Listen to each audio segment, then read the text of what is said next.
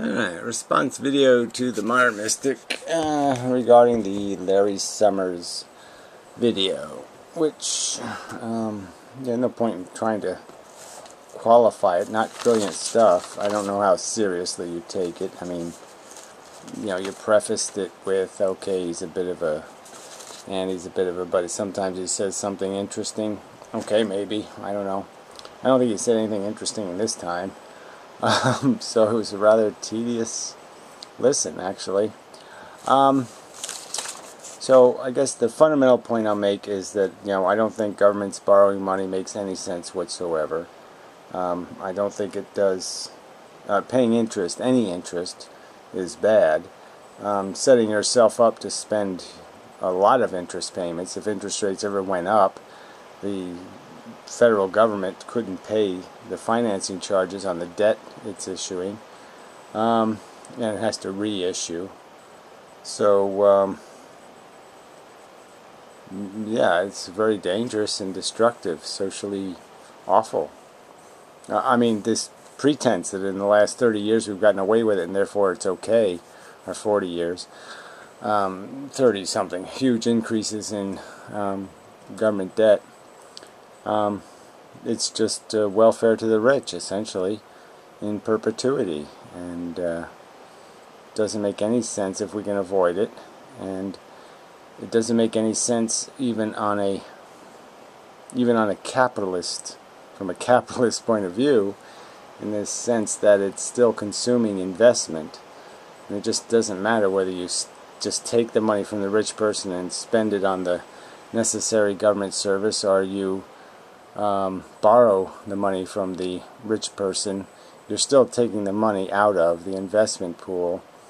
And um, by borrowing it, you take the money out of the investment pool forever, essentially. A big, huge, giant pile of money. Um, again, leverage changes that because people leverage the bonds into more equity and uh, spend the money twice, so to speak. Um, but in principle, we, we know this isn't, that's no way to run a railroad. And borrowing is bad, okay? Um, um, it's better to tax and spend than borrow and spend. So if that was the simplest question, what's better, uh, tax and spend or borrow and spend, I would argue that logically it's better to tax and spend than borrow and spend. Mm, simple answer. Um, did he say anything else in his video about any other solution? So I don't think he's got the problem. So so let's just say if we, if we were going to sit here and say, look, what are the problems that exist, and what are the solutions? So we can have those two um, sides to the equation. And um, I mean, I, obviously, I would argue that the problem is is that we're put all the incentive carrots in front of one in one thousand horses. Um, they're wasting them, squandering them, stepping on them, stomping on them. They're just fucking the game all to pieces. They not only waste money and work and resources of the civilization through their squandering of it, personal jets and frivolous crap. Um, they're not smart investors. they they invest in in shams and crooks or crookeries and ripoffs. Um, small print everywhere um, you know, all kinds of catch 22s. Yeah, it's very profitable to fool stupid people. Even that argument I could make, it's like the YouTube argument. Um, everything migrates to the lowest common denominator because they're the easiest to steal from. And these are basically greedy criminals, and they have a bunch of ignorant, stupid people to steal from, and so that's where all their activity is concentrated. So they don't help civilization any. They just exploit stupid people, and then somebody has to clean up the mess. And that's not even talking about the mess of all the bankruptcies and all the waste of their competition, all the empty warehouses, all the redundant infrastructure. Um, I attempted to make, a, uh, just to break into this argument with um, you know a thing that you use a lot um, because of the uh, the energy peak energy problem and the solar energy scenario, and, and the, the fact that we are implementing solar energy in this despicably, horribly inefficient manner. Um, that's only because of greed. It's only because we, we won't sit there and do it the rational way. If the state could save the citizens of the state huge amounts of money if the state would just build the solar farm even though it can't compete with oil, but let's just build it anyway, um, and sell the citizens shares in the solar farm. Let the citizens own the solar farm if they choose to. So instead of putting the panels on their roof, they could own this, the solar farm. They could get the energy out of it. More energy than they're getting off the panels on their roof for certain, at less expense and less liability to their home. So they get the best of what they have now. They get everything they have now, which is ownership of their own energy, um, with much more secure and functional infrastructure. And all, the, all this takes is what? Saying, let's not let stupid, conniving, weaselly rich people make decisions for our civilization, and instead let's be a little bit rational? Uh, you know I mean, what other context or what other way can we argue this? You either let selfish, greedy people decide and do it wrong, or we somehow find some mechanism to allow smart people to advise us on how to design a good game. I mean, that's all this is again. This is, you know, I'm going to write the word game down. This is all this is, is a game. And the game is productivity and efficiency. Productivity in your work and efficiency in your consumption. Is there some other thing that we're really after here? And, you're not going to get that by letting a bunch of greedy people loose to create backdoors and, and, and connives and cheats, to let nepotism and bigotries run the game. We can't. I mean, I'm just saying. There's no rational conversation. If that's as limited as your your view can be, then yes. And if the only decision is going to be is whether we should borrow money or tax money, okay, then I'm just going to. I'm voting for taxing. Yes, it makes more sense to tax and spend than borrow and spend. And if that's the limitation of the conversation, then fine. That's my opinion. I think that's where the the facts um, point. So I think Larry Summers is a douchebag. yeah. Um, all right, what else is there to say? Um, insufficiency of demand is directly related to too much wealth in the hands of too few. Yeah, they don't. They have too much money. They can't spend it rationally. They can only spend it irrationally, and so um, yeah, we don't have any rational demand. Um, the truth is, if these numbers are correct, and and we they could be even worse than what the numbers reveal. Obviously, these rich people probably lie about how much money they really have. Um, but yeah, you're talking about a you know 10% of the people owning 90% of the world, and if you and if you just start bending that that num those numbers a little bit, um, you're talking about a threefold increase. Okay, you inconvenience one in a thousand people the horrid inconvenience of living on a million dollars instead of a billion dollars, um, the horrible inconvenience of just being a mere millionaire instead of a billionaire. So you, you impose that horrible inconvenience, and the lifestyle of the average working person increases by 300%. Three times as much income. Yeah, you'll have more spending then. You won't have a problem with demand then, would you? They have three times the disposable income. Yeah, I think there's going to be plenty of fucking demand then. Um, okay, again, his solution is borrow more money from rich people. Uh, more interest payments. Pay more rent. Paying rent is good. I mean, I knew as a, you know, as soon as I heard what rent was, I knew rent can't be a good idea. I mean, I obviously never thought about being a renter. I mean, it just automatically sounds like you're a scumbag. So, so I mean, what, what? Again, there's no human beings who don't want to live in a scumocracy. No, nobody can just say, no, I just want a fair deal. I just want a fair shot. Everybody has to be in on some racket, some free lunch. Bullshit. Fuck. Um, so anyway, um, all right. So there was some talk of austerity, whether it's good or bad. Um, I don't think you need austerity balanced budgets. So again, you know, again, they're just too afraid to touch the rich because all of a sudden the rich are gods. Everybody's everybody's in love with rich people. Everybody thinks rich people are actually do create jobs. They don't steal jobs. They don't steal resources. No, they create all this stuff. They make it out of nothing. They don't make it out of your labor. They don't make it out of the value of your labor. No, they make it out of their magic brain power that adds so much value to our lives.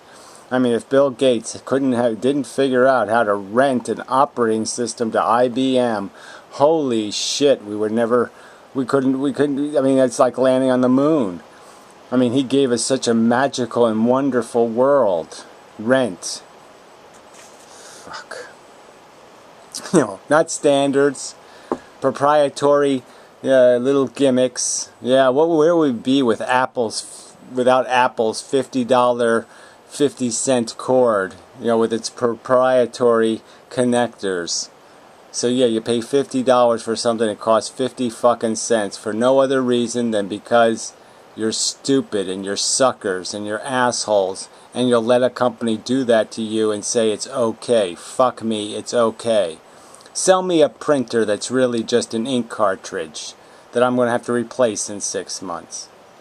Yeah, it's okay. I don't mind being fucked. I don't mind sitting there wanting to print a document and trying to figure out why I can only print 13 documents out of this ink cartridge because they're selling me fucking ink at a hundred dollars a mega ounce, uh, a minute ounce. Yeah, live in that world and tell me it's great. Everything's just fucking fine. I hate it. I despise it. This world is revolting and disgusting. You don't even live in it, you fucker. and so you know, you've you've moved out of it, and then you talk about it, it's a wonderful system and it's all working just fine. It absolutely smells like goddamn deer repellent. Alright. Pay more rent to the rich. Yep.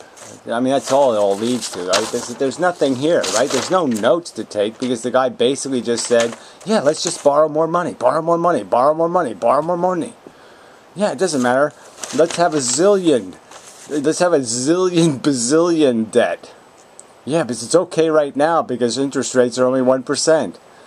But when they go back up to being 7%, uh, yeah, so, well, so what? You only have to tax people for 10 years to pay for the interest payments on one year's of the budget. Anyway. Alright, so the only interesting question that might have been came out of this thing, it was a, a little bit of conversation about what technology means to the value of labor. And, and I'd say the more interesting question is, is, is how disposable is a human life? How useless have we become? And obviously, we're only useful to the rich as long as we'll click on their ads, okay, buy into their trickery, be fooled, be suckered, lease our car to save money. Um, you know, if we fall for their gimmicks and their rip-offs so they can make huge profits, all right, so they can sell us something for $50, it's only worth 50 cents. Um, but that's the that's the game that's being played on us, right? And if we don't play that game, we have no value.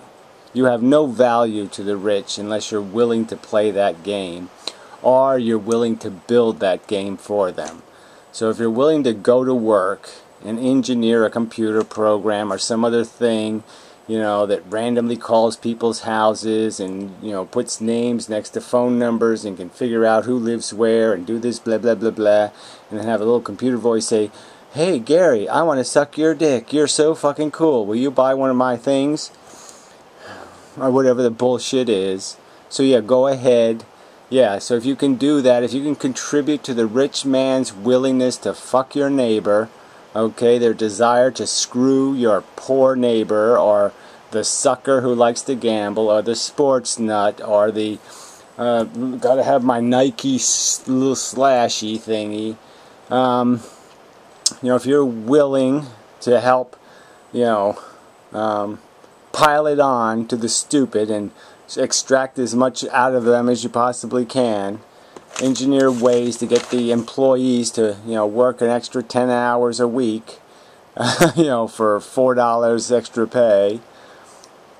Yeah, then you have value to that, to the, to the world. But unless you want to be part of that racket, you have no value. Okay, you might as well be dead to them. You are dead to them. They will not culturally feed you with knowledge or information.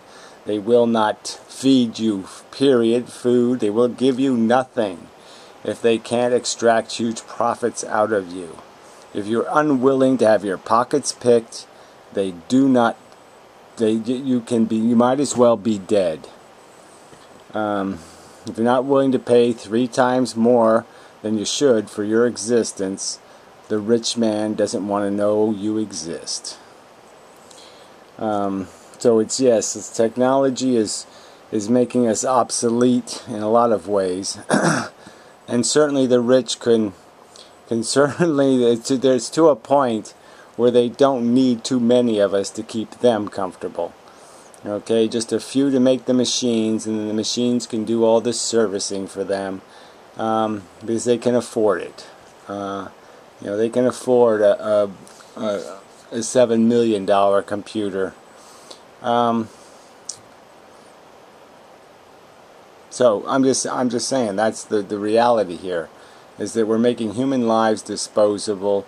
Because the only thing that has value is servicing the rich. There isn't anything else to do but make rich people happy because they have all the fucking money.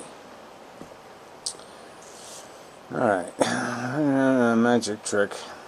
Yeah, so, so I was thinking a metaphor for this whole thing is that, you know, this whole conversation in a way, is that there's the economy, these these economists and this, this whole capitalist infrastructure, this whole system, is like a, a magician doing a trick. And we're sitting there saying, well, let's dissect it and see how they're doing this trick. And so we're having an argument about whether the guy's really pulling doves out of his sleeve or whether he has some you know, they're really shooting out of his pants pocket, and then he has a hole in the elbow, and they're, you know, or whatever the gimmick is. Um, but that's all we're doing. We're all we're all sitting there looking at the clank, clank, bang, bang. It's making all these noises, doing all this stuff, and we're trying to figure out if there's anything in this Rube Goldberg noise machine that has any value whatsoever. And what I'm going to say is it has no value. It hasn't been constructed by intelligence. It's been constructed by greed and theft and connivery and thieves. It's been constructed by fucking thieves. Nepotistic, elitist, cheater thieves. Um, and it shouldn't make any sense to a decent human being. Um,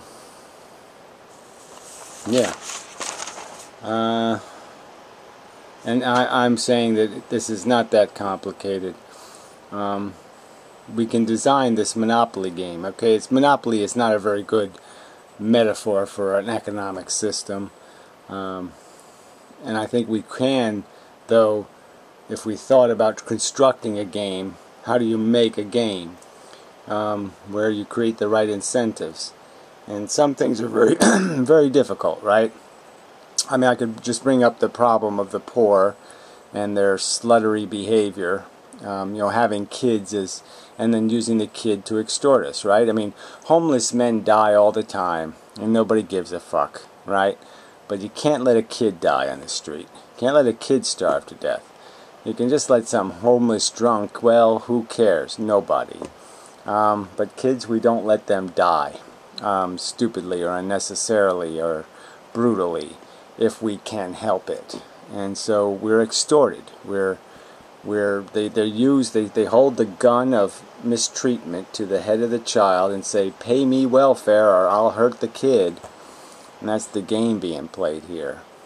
Um, even bankruptcy has some of that rolled into it. Like we're all supposed to be terribly empathetic for some asshole who lived way beyond his means, okay, um, you know, uh, doing some entrepreneurially crap. Yeah, right, right. He did most of his entrepreneuring, you know, in the south of France, probably, you know, somewhere around where you were hanging out, uh, drinking wine and shit. Um, not doing serious business, and he goes bankrupt, and we all got to pay for it. Um, in the sense that it becomes the cost of doing business is that some of your um, customers are going to fuck you um, on credit. And, and that, so I would extend that argument to this argument about these different levels of good and bad digits. Um, I personally don't want digits associated with people doing bullshit and Ron bullshit. Um, and we know people will be seduced by that. We know people will be seduced by the the short run interest. You know, something that works for two years and then blows up. And they'll just say, "Wow, I get I get 15% return on my money." Okay, it's a pyramid scheme and it won't work two years from now. So what? Well, the so what is is all those bankruptcies and all that failure is still going to get paid for by somebody. Again, there is no there's no free failure in the world. There's no free lunch and there's no free failure. It all costs. It all has to come out of there's only one thing of any value here and again we're back to you you know you don't believe it, but the only thing of value on this fucking planet is the mind and body of a worker. The the aptitude, their capacity to take things in the world and make them better, to make them into something somebody else can consume and gain comfort from. And that's the reality. And that's who's getting ripped off. Um, to maintain a fucking idiotic system of fraud and fakery and connivery and nonsense. So fuck these asshole economic jackasses defending this bullshit system um, as if we can't do anything about it. I mean, this Larry Summers guys couldn't even say, well, why don't we put taxes back where they were at least in like 1985 even.